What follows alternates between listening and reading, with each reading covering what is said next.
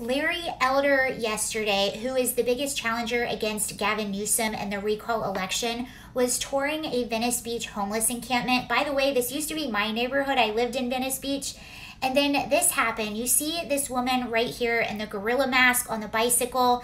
She was yelling obscenities at Larry Elder, threw eggs at him, and even attacked one of his security guards. So you see Larry Elder being shuffled away, kind of, and she's on her bike. Here's another image of what happened. You see him walking calmly and you can kind of see her in the corner. And I believe that's an egg in her hand. She's about to chuck it at Larry Elder. And I have two points to make about this. Number one, this is just more reason. By the way, she wasn't the only one that was yelling obscenities and physically attack, attacking some of Elder's crew. This is even more reason why we need new leadership in California because this type of behavior is what the residents of Venice Beach face every single day. This image reminds me of some of the images that I would see in history books portraying some of the darkest times in our nation's history.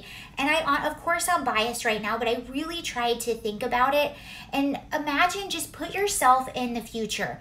Put yourself away from this political climate that we have right now and give yourself just a really objective point of view. Imagine you're a kid reading the history books about how some of these Democrats or far leftists treat women and how they treat black conservatives. What would you think? If this were the other way around, if this was someone like Kamala Harris, who I would be equally disturbed if that happened to her, if this is someone like her, this would be all over every mainstream news station nonstop. The reason they get away with this so much is because they do a really good job as cloaking themselves as the party of tolerance and love and acceptance and unicorns and rainbows and running through daisies and singing kumbaya but really, all you have to do is look at their behavior, and they have a history of doing this. Larry Elder would be the first uh, black governor of California.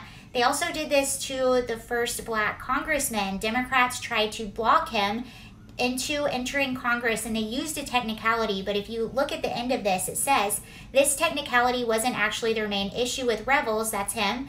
At the time, the Democrats were the party of Southern white men and simply didn't want a black man in Congress. I'm not saying that's why they don't want Larry Elder in office, and I don't actually believe that at all. Uh, but what I find interesting is they will never argue Elder's policy ideas, they will just slander him constantly in the media.